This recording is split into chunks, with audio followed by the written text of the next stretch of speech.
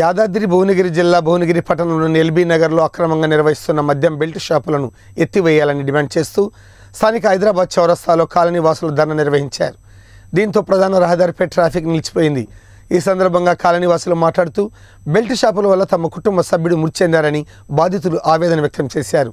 కాలనీలో రెండు బెల్ట్ షాపులు ఉన్నాయని వాటిని వెంటనే ముయించాలని డిమాండ్ చేశారు. కాలనీ వాసులు ధర్నాకు స్థానిక కాంగ్రెస్ పార్టీ నాయకులు మద్దతు పలికారు.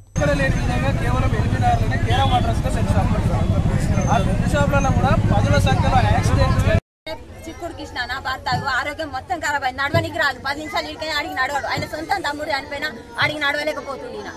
పరిస్థితి ఇట్లుంది. మా లెక్క ఇంకొకరు కావద్దు. పెళ్ళి షాపులు ఉండొచ్చు ఒక్కటి కూడా వరకే మనం ఇంట్లో ఛాయ్ పెట్టుకొని తాగే టైంకి ఇడికొచ్చి మందు తాగుతుంటారు.